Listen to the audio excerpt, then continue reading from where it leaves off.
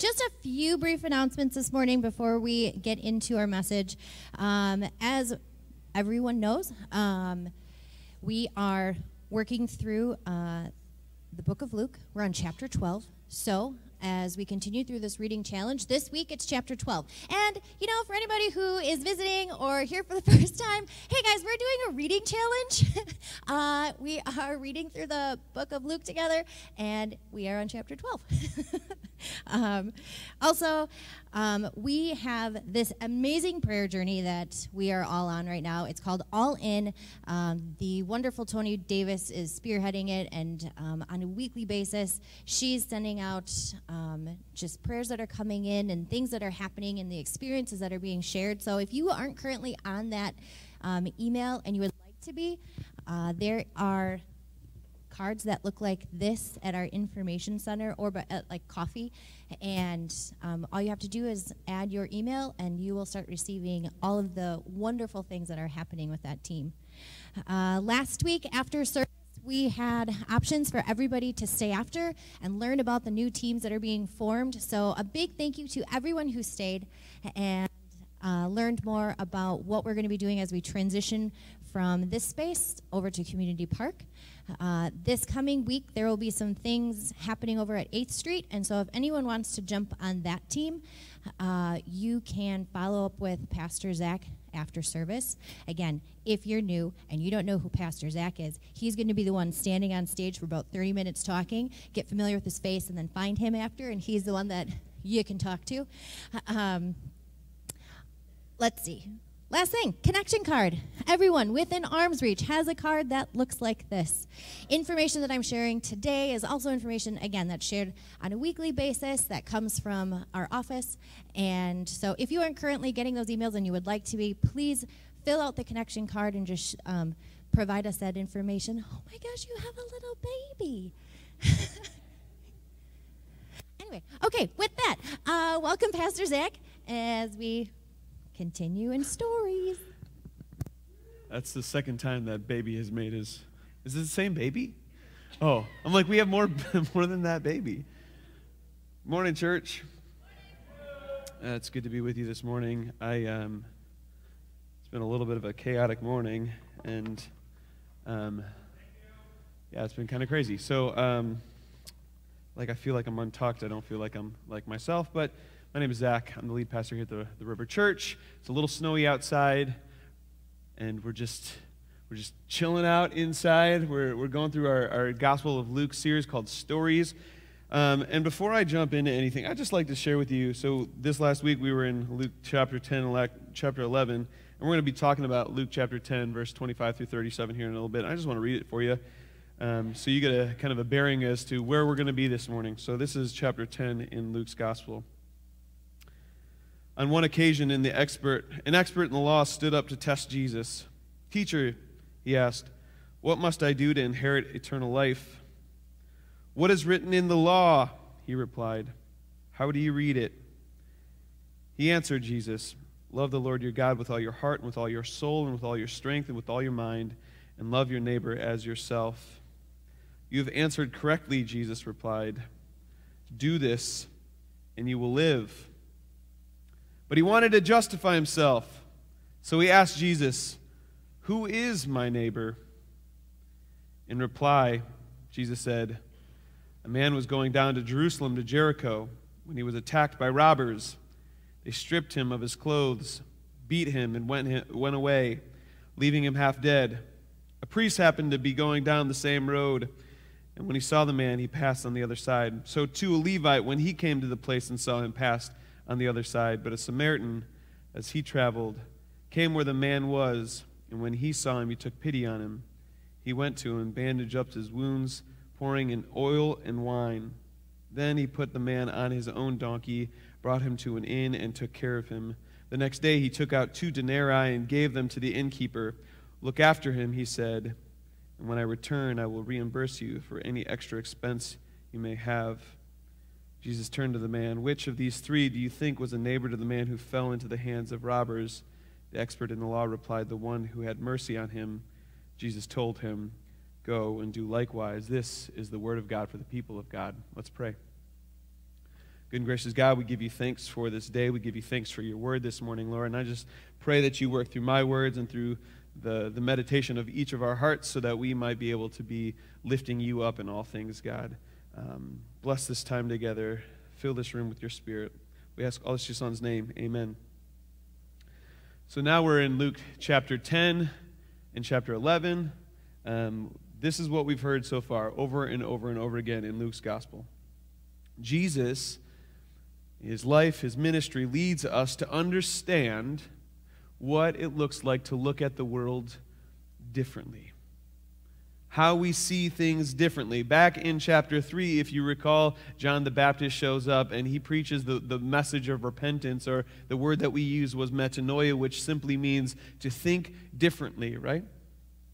And time after time after time, so far in Luke's gospel, Jesus has been challenging the way that the world thinks and been pointing toward a different way, a kingdom mindset. So if you think more like Jesus, all the, the, through the, the first 10 chapters, through the first 11 chapters, if you think more like Jesus, Jesus says, if you think more like me, you're probably going to act more like me.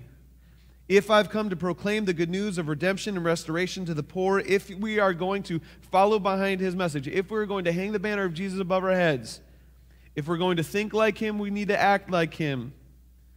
So if he's going to proclaim good news to the poor, we should proclaim good news to the poor. If he's intentional about going to God in prayer, we should do our best to imitate his prayer life. If he gathers around with friends and strangers around a table and blesses bread and breaks it with them, we too should be focusing on creating community, forming community and relationships in a similar way. If Jesus is the example of practicing the ways of the kingdom of God, then practicing Jesus' ways would probably be a good idea for us as those who follow Jesus. Which leads us to our reading today. Many of us know this story. The Good Samaritan. The word Samaritan, if you just think about it, it's, it's in hospitals, it's on schools, law offices. It all points us to understand that, like, the word Samaritan means good person, right? Which is why we use it with our kids a lot. We teach our kids this story all the time. If you'd ever went to summer camp at any point in time, like church camp, this story was like one of, in, one of the stories in the rotation. Because it is central to who we want to be as people, not just as people of God, but as people in general, right? It parallels the golden rule do unto others as you would like done to yourself. And we, I mean, we just drill this into our kids' head because we want them to grow up with good morals and good ethical understanding of the world. So we're like, you want to be like the Good Samaritan, right? But the story here that Jesus tells is not just leaning toward telling us how we need to be a good person. It's not just trying to teach us about what it means to treat others kindly. In this very well known parable, Jesus isn't laying out a set of rules to follow so that we just get eternal life as the, the lawyer was looking for. Jesus, in this parable, lays out a radical countercultural practice, which we will call kingdom hospitality. For about a year now, our church's leadership has spent meeting after meeting talking about hospitality. What does this word mean? How can we be more like a church that Jesus would want to be a part of? How can we love others well, even though that means we have to get uncomfortable to do so? How can we lean into this concept of kingdom hospitality? How do we do it on Sundays? As somebody walks through the door, how, how do we practice kingdom hospitality as, as, as someone who's is, is right off the street? And how do we love them the way that Jesus would love them? Right? And this is what we've been asking ourselves. Not, and not just on Sunday, it's like, how do we live this every single day in our lives? We've asked ourselves this question over and over again. Sometimes we do okay, sometimes we miss the mark. Because, like, we, we don't want to feel too uncomfortable when we, we're extending hospitality to people. Like, well, we're, we're willing to make a cup of coffee for them, we're willing to, to shake their hand, but like if you if you talk about like what's happening across the street, we really don't want to get there quite yet. Let's let's master in here first, right?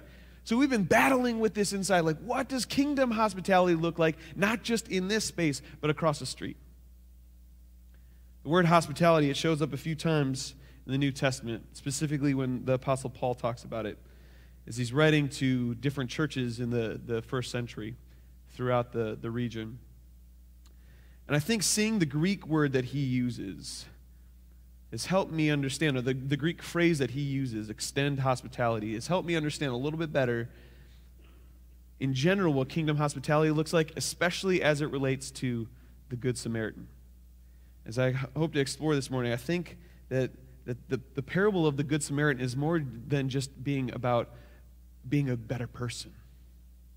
There's something so much deeper, so much greater that I think Paul speaks to in his, in his, his, his phrase to extend hospitality. So we're going to start in Romans chapter 12 this morning. He's talking to the Romans. He's telling them if you want to have an impact on the world around you, you have to first start with a posture of love. This is Romans 12, starting in verse 9. Let love be genuine. Hate what is evil. Hold fast to what is good. Love one another with mutual affection. Outdo one another in showing honor. Do not lag in zeal. Be ardent in spirit. Serve the Lord. Rejoice in hope. Be patient in suffering. Persevere in prayer. Contribute to the needs of the saints. Extend hospitality to strangers. This phrase, extend hospitality, it, it, there are two words that, that need to be translated here. The first, to extend or to give, is the Greek word dio, dioko, to seek after eagerly, to pursue, earnestly endeavor.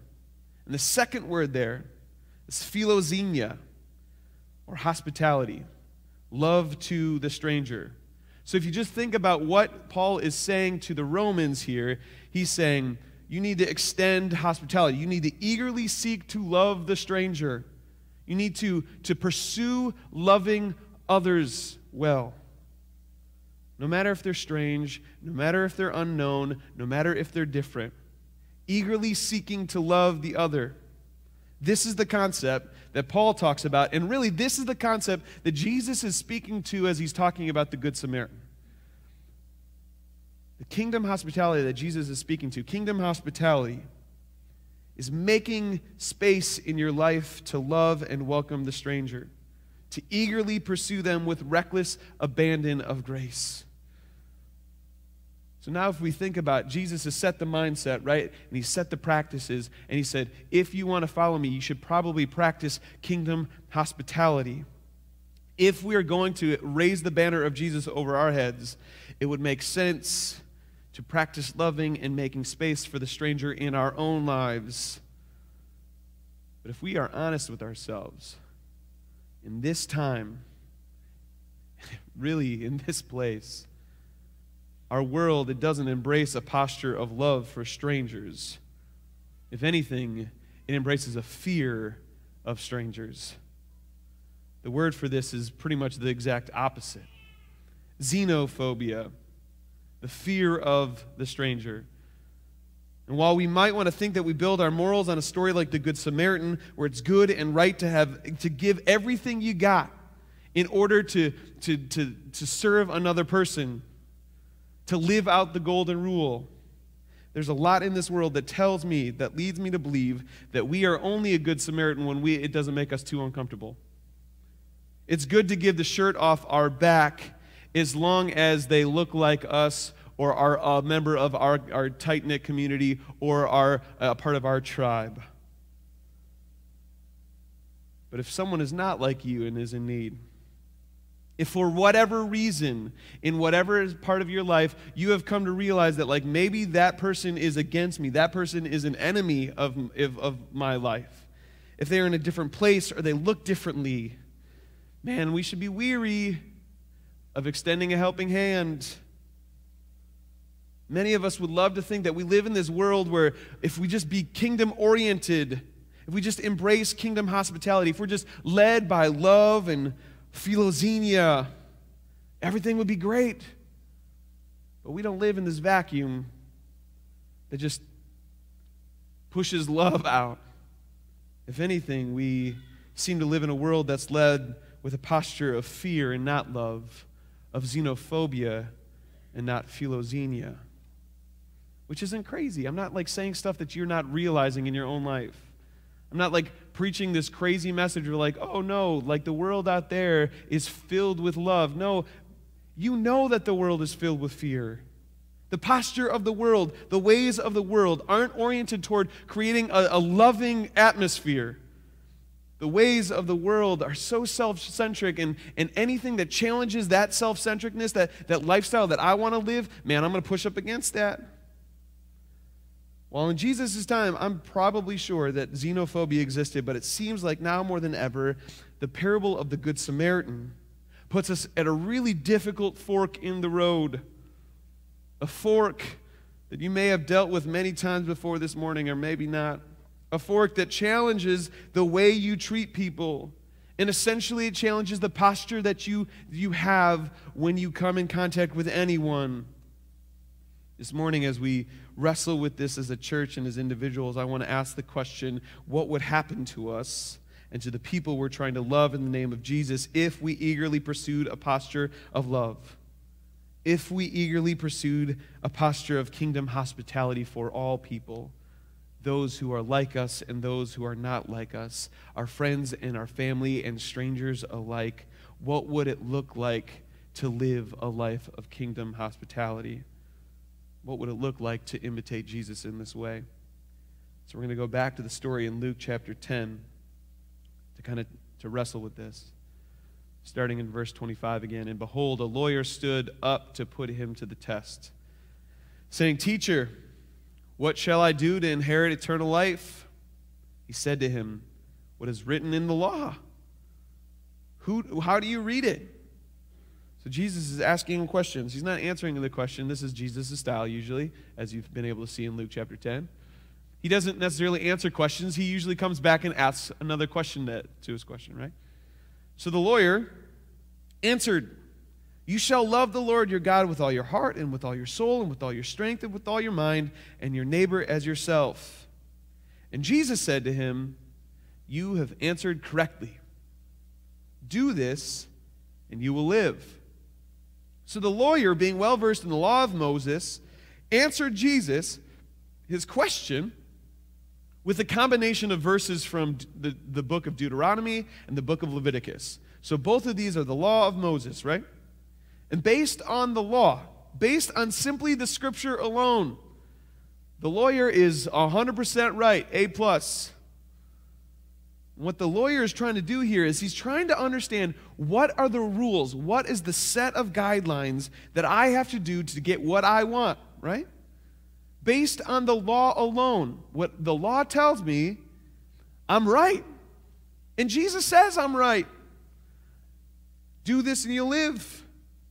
Do this and you will have what you desire. Because all he's wanting, he, he says, What do I have to do to inherit eternal life, Lord? That's what he wants. So Jesus says, Yeah, if you do that, you will live. And you will have exactly what you desire. You will get what you deserve. Now, Jesus doesn't tell him how to do this. He just tells him that if you do it, then you get what you want.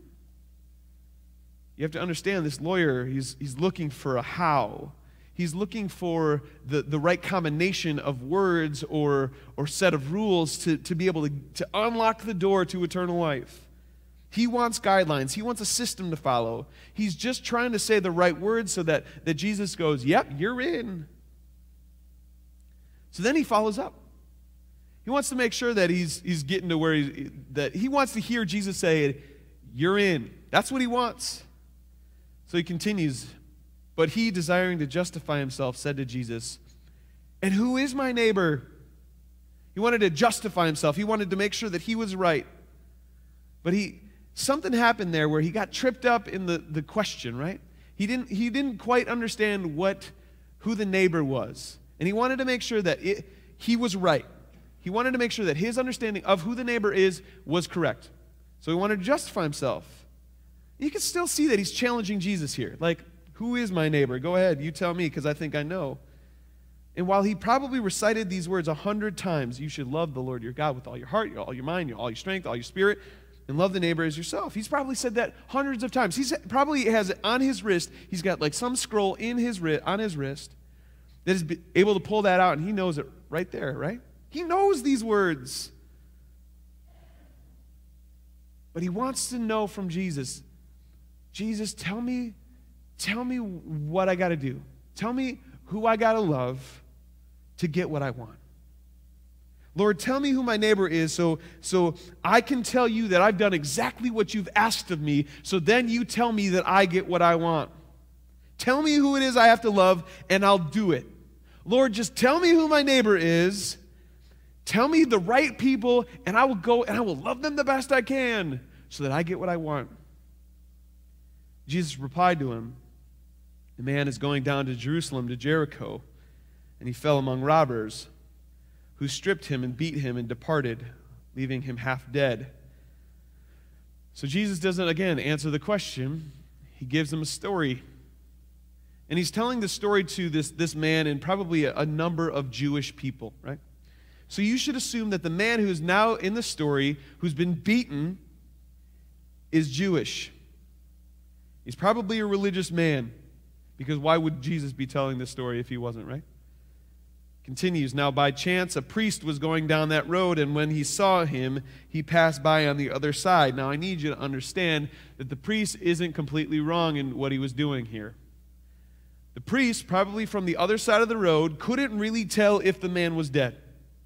He didn't know if he was alive, he didn't know if he needed help. But if he was dead, and if the priest went over there, and if the priest touched him, all of a sudden we got a big situation on our hands. Because if he touches him, now he becomes ceremoniously unclean. And if he touches him, he can't do what he is supposed to do. So he didn't want to go over there and touch him and check to see if he was okay because that would screw him up. You kind of see the priority list, right?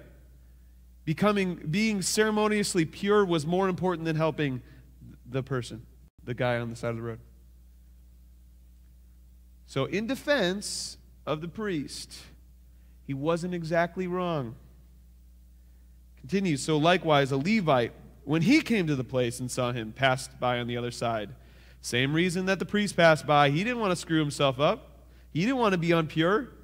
He didn't want to like have to go to temple for for 40,000 days or whatever it would be and, and have to, to repent of, of whatever he had to do. He didn't want to have to do that. I'm just going to avoid the situation altogether. He didn't want to get his hands and his soul dirty by touching some dead guy. That wasn't on his list of things to do that day. So now the audience is sitting there saying, okay, priest passed by, a Levi passed by. I see what you're doing here, Jesus. Like, you're going to say that a not so religious Jewish man is going to come by and he's going to save the day. And that's us, right? Like, we are the neighbors, right? Yeah. Yeah, that makes a lot of sense. Because it's a Jewish rabbi telling a story about a Jewish man on the side of the road. This all makes sense. But a Samaritan, as he journeyed, came to where he was, and when he saw him, he had compassion. He went to him and bound up his wounds, pouring on oil and wine. Then he set him on his own animal and brought him to an inn and took care of him. And the next day he took out two denarii and gave them to the innkeeper, saying, Take care of him, and whatever more you spend, I will repay you when I come back. Now you have to understand Samaritans are people from a region that the Jewish people do not go into. They had no dealings with one another because the Jews and the Samaritans did not get along. In fact, the Jews would often refer to the Samaritans as dogs. Their, their relationship was really messy between the two cultures. So, as Jesus is telling this parable, and as soon as he said a Samaritan man was the one who stopped on the side of the road to help this Jewish man, it would have just they would have like stopped. They couldn't have probably even heard the rest of the story at that point in time. Because the Samaritan would have been the last person who would have helped a beaten Jewish man on the side of the road. The Samaritan probably would have been the first person to kick him while he was down, to take anything else that was there with him. But there he was, an outsider, a person who didn't belong in the story, showing compassion, cleaning wounds, placing this man on a donkey, walking next to him to the next village and paying for two months, a two month stay for this man to rehabilitate himself. He saw a man, the Samaritan, this outsider, this, this, this demonized person, saw a man in need and stepped up. He did all he could to help him. The Samaritan, this outsider, the spiritually deprived man, was the hero of the story. For us, we know this really well. This story isn't that big a deal, but for the lawyer and the rest of those listening at that time, this would have just blown their minds. In this story, Jesus presents a couple things. Radical inclusion of the outsider, but not the outsider receiving mercy, but the outsider having the ability to love someone, the outsider being able to show grace to someone, an outsider having a role in the kingdom work. This kingdom hospitality Jesus is talking about extends far beyond any boundaries or borders that any of us can put up. He continues by asking the lawyer a question Which of these three do you think proved to be a neighbor to the man who fell among the robbers? And he said, The lawyer said, The one who showed him mercy. And Jesus said to him, You go and do likewise. Now, this story, we know the story so well. But do you see what Jesus actually has done here? He flips the question. He flips the lawyer's question to be something completely different. The lawyer began by asking, If I'm to love God and love my neighbor, who is that? Who is my neighbor? Because to get what I want, to get eternal life, I need to find them and love them so I receive eternal life. But Jesus, in this parable, he reframes the perspective, he reframes the question. Instead of wondering, Who is my neighbor? Jesus says, You should ask yourself the question, How can I be a better neighbor to anyone I come in contact with? The outsider, the stranger, the demonized, the Samaritan, the one who's outside of the faith, understood the law of Moses far better than the priest and the Levite and this lawyer. Church, that feeling inside of you right now is conviction. Because this is a message for us.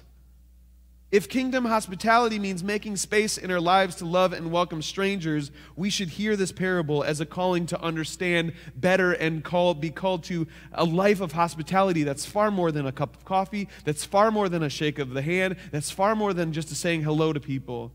This parable it's, it's not about building up a ministry. Kingdom hospitality is not a ministry. Kingdom hospitality is the way of Jesus. Kingdom hospitality opens our eyes to the downtrodden, and it opens our, our hearts and our eyes and our, our souls to, to bringing the outsider in, to serve them no matter how different they are from us, so that they might be able to be completely healed and whole again. Kingdom hospitality calls us to place aside our status. It calls us to act and, and see and serve, to tend to the ones in need, even if you have to become uncomfortable in doing so, even if it costs you something to do so. Kingdom hospitality calls us to toss aside our, our, our desire for comfort.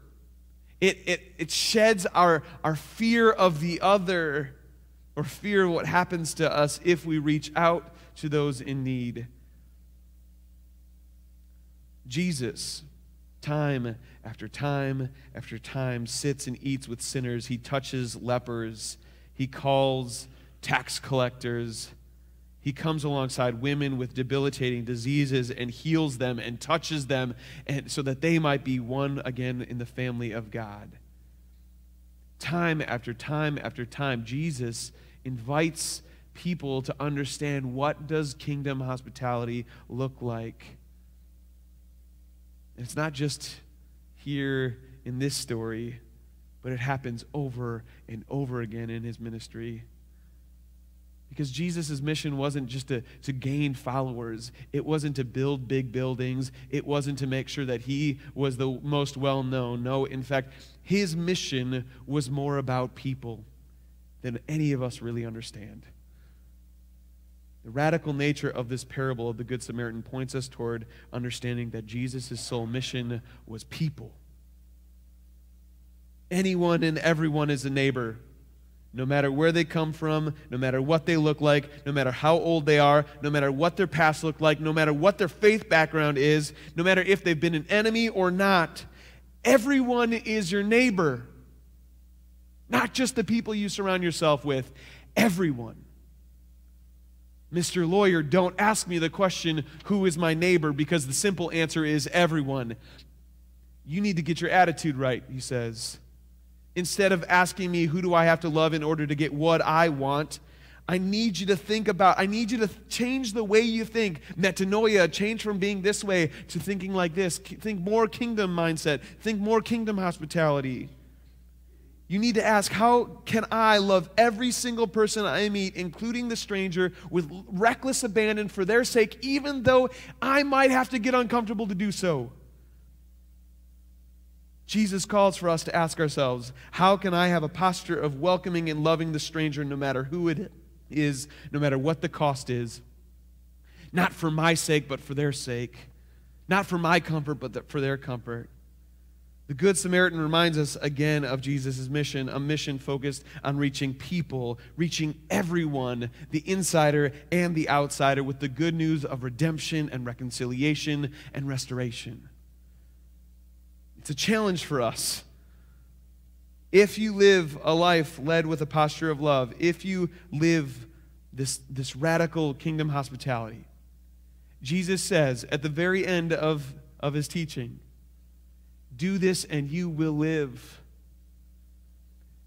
You don't get always what you think you're going to get, but you get what I need you to have.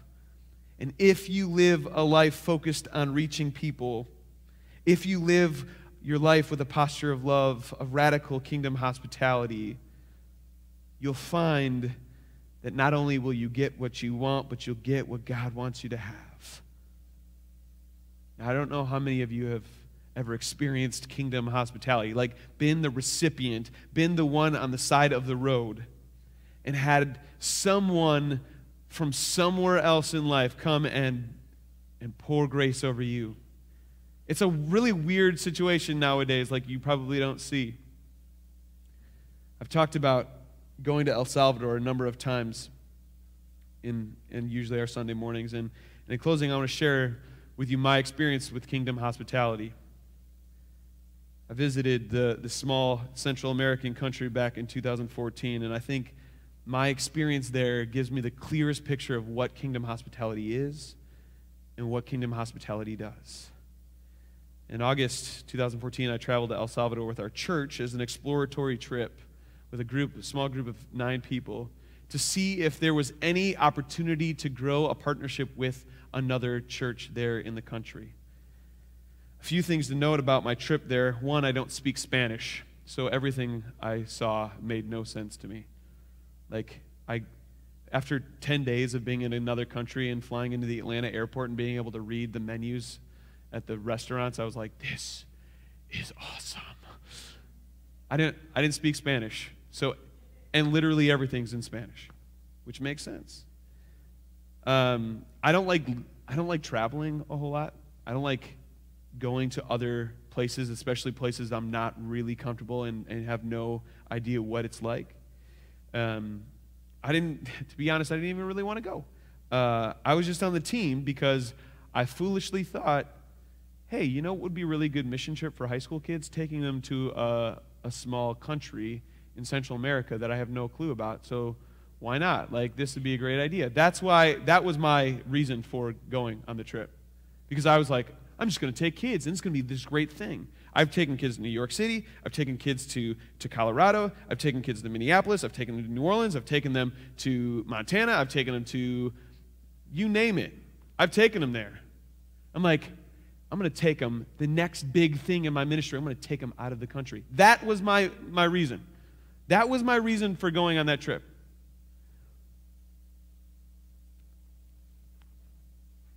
I didn't know anything about the, the country. I had no clue. Like, it's like, oh, everyone speaks English, right? No, like, that's not true. I had no clue other than what Main Street media said about what the country. If you know anything about the country, there's a huge civil war back about 25, 30 years ago. And gang violence is probably the worst in any country. Like, you'd go into villages and they'd be split right in two with two different gangs. And if you cross the street, you're, you're unsafe. And, and also, you hear like kids trying to get to our country, right? That's what you know about El Salvador, just based on mainstream media. You know that, that there are, are young people trying to migrate up into our country. That's, what, that's the only thing I knew about El Salvador. So I was nervous. I was nervous b- before leaving because I don't, all these things, I, I, I did not know what I was getting myself into. And we flew in on a Saturday, which meant on Sunday we'd be going to church. And we went to a, a partnered church of another, uh, one of the Milwaukee churches. It was called Los Airways.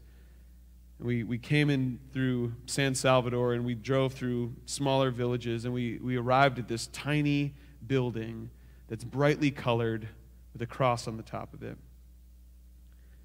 When we arrived, we, we were told, like, down the hill there, you can't go. Like, just stay with us. So we went into the church, and obviously, like, everything is a whirlwind to me. I didn't know what was being said. I kind of like knew some of the songs, but I didn't understand their customs. I didn't understand their culture. Like people were people were dancing and singing and and and saying things, and I was, I was just oblivious to it all.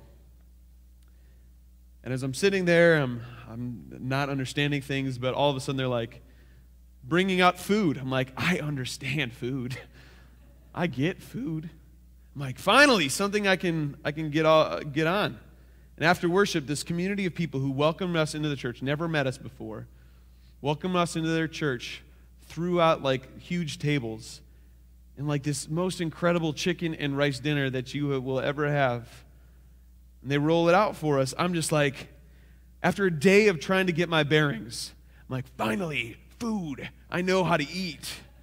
Um, and the meal we had, it was incredible. We, and after we took a, a, a trip through their, their village, we got to meet some of the people in their, in their homes.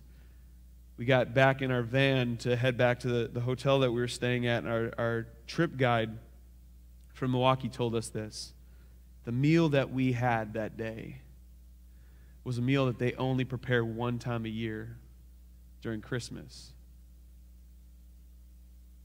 I remember sitting there for the first time and being like, what? Like, that doesn't make sense. That's, that's like a Monday night dinner for us. That's like a regular thing for us. Why, why after just, just knowing us for an hour, why would, why would they throw out the greatest food spread that they could come up with for people that they wouldn't know?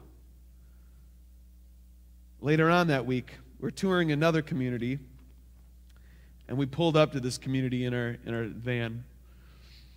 And all of a sudden, you hear drums. And you're like, what is happening? Like, the kids must be out. And the drums got louder and louder. And it's, so it's, and it's not just one drum, it's like a drum line of drums. And as we're pulling up to this village, you just see like this crowd of people, just kids and, and adults. And I don't know if you've ever seen like the end of Indiana Jones and the, the Temple of Doom, where like all the kids are around and every, like they return the stone and it's great. Like we get out of the van and there it's just like swarms of kids all around us, hugging us and wanting to say hello. I mean, it's like as far as the eye can see. And I'm like, what is happening here? And they, they have a parade through the village for us. What is happening? We just pulled up in this red van. They didn't know who we were. We went to their school, and the kids were so excited to show us everything. They put on musical acts, they had dance troupes, they presented us with gifts, and then we had another meal with Coke and Fanta. They can't afford this stuff.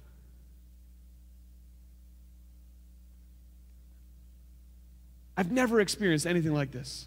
I didn't know what was being said. I had no clue what, what they were doing. I just was going off of what the news was telling me about El Salvador. I was just going off of, of what, what, what I heard about their country. I had no clue. I had no clue hospitality could be like this. I went to El Salvador thinking that I was going to get something to lead me into a deeper experience with God. I thought I was going to grow deeper in my relationship. But I left El Salvador with an experience and an understanding of hospitality that I cannot even begin to really, truly describe. You see, I got exactly what I wanted in a far more meaningful way, and exactly the way that God knew that I needed to get it. Just in the way that God makes things like that happen. I want to share with you a picture. I don't know if you're going to be able to see it. Um, Katie, you have that picture of my notebook? Perfect. I know you can't read it. Um, but this, this was one of our, night, one of our nights. Um, I should explain this. We debrief every single evening, and we talk about our day. And this was, this was Indiana Jones Day, okay? And I know you can't read it really well, but just the bottom of this page here, it says, Salvadorans understand, thank you, what true hospitality looks like. Like, I never thought about hospitality in my life before, ever. And I experienced kingdom hospitality like I've never experienced it before. And on the right side of the page there, again, I know you can't see it, but let me just tell you I wrote a question. I said, What would church look like if a guest walked through the door and experienced unrelenting grace and hospitality like I did today? Friends, if we just go off what the news says, what we hear about the immigrants and the nasty gang culture in El Salvador, we would see them like the Jews saw the Samaritans, and we can't be dishonest about that. We would see people like that and be like, nah, it's the same. It's the same. We feel like they're so depraved, they're so lost, they're the ones in need, they're the ones who need us to save them. Now, maybe I wasn't beaten on the road, but maybe I wasn't robbed and left for dead. But I'll tell you, in so many ways, my mindset was broken as I went into that experience. I was so worried about who do I have to love, Lord, so that I get what I want. My eyes and my mind were set on the things that I wanted and then God showed up through people who shouldn't be the ones giving anything because they didn't have anything for my sake. And in my life and in my experience, God showed up in the form of kingdom hospitality, and He flipped my question on its end. I asked, Lord, who do I have to go to in love so I get this thing right? What country, which village do I have to go to to proclaim your love so that I fulfill my calling of preaching the gospel? Tell me, Lord, and I will go. But if it's okay, I'd like to go to the place that I feel comfortable. I'd like to go to a place where I can choose my neighbors. Sure, I'll ask you who my neighbors are, and I'll go places nervously, but, but I'll only do it if I can fulfill my quota of getting what I want, so I can earn your favor. But just as Jesus does to the lawyer, God flipped my question. It's not about who your neighbor is, it's not about how you should get what you want at the end of the day. The question you need to ask is how should you love your neighbor? The things that I should turn myself toward is, is how can I have more of a kingdom mindset? Lord, how can, can I love people more? Will you just show me through your people that, that I think can't do it as well as I can? Will you show me philoxenia? Will you show me hospitality? Will you shower me with grace and love in ways that I can't even begin to understand? Because when I put construct of grace and love and who I love and who my neighbor is, I miss it. I feel like Jesus says, Let me show you how much I love you through people you would never think had the potential to love you like that. I'll tell you, when I was studying this text this week, I didn't really think about my experience in El Salvador at all. And the more I read it, I was like, my experience in El Salvador was what was happening here in the, the Good Samaritan story. I lived the message of the Good Samaritan. I experienced the point of Jesus' parable. And what I couldn't put into words five years ago when I'm, I'm trying to say, like, what is this hospitality thing? I don't understand. I think what the Good Samaritan leads me to understand is that what I experienced five years ago was kingdom hospitality. Five years ago, Jesus showed up in a way that I never thought he could through the presence of amazing people who didn't look like me, who didn't speak my language, who didn't live the life I lived. Jesus showed up in the presence and the extravagant love of the, these wonderful Salvadoran people to show me hospitality. But it's more than just hospitality. It's more than just a cup of coffee. It's more than just a smile. It's kingdom hospitality. It's, it's laying your comfort out so that others can be comfortable. Hospitality is not just something that we can do on a Sunday morning. Kingdom hospitality is so much more than a cup of coffee or a smile or a handshake.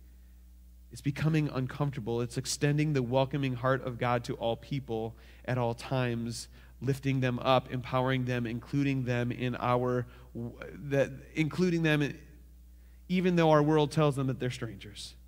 Even though our world tells us that we should be fearful.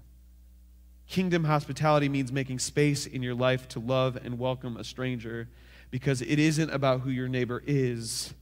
Kingdom hospitality is how you should love your neighbor.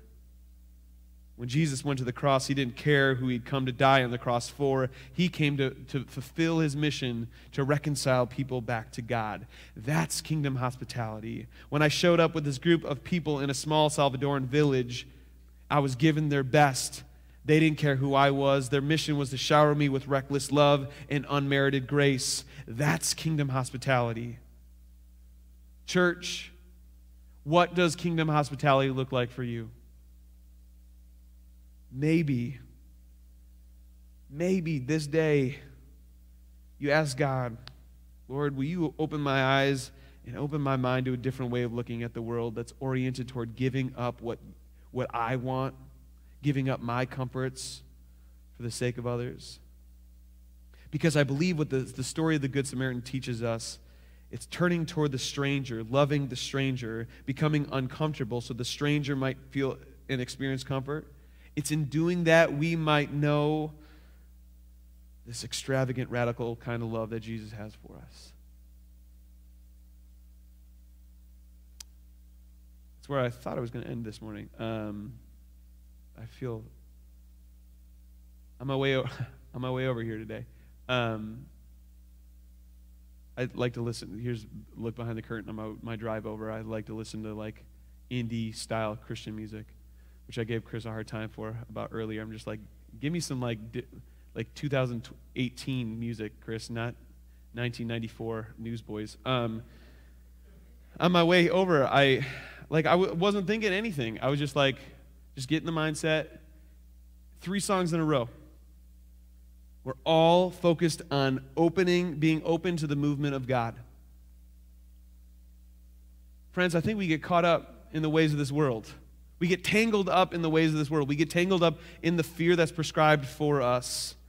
And I think that it's so easy to miss the movement of God. It's so easy to walk on the other side of the street because we don't want to get our hands dirty. We don't want to get our souls dirtied by other people's messes. Good Samaritan story just it leans me into to understand more that that whatever God says, we should probably listen to, right?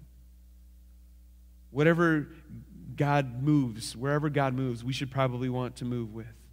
Whatever change God calls us to make in our lives, maybe we should consider it. Maybe we can go to the other side of the street and check the situation out.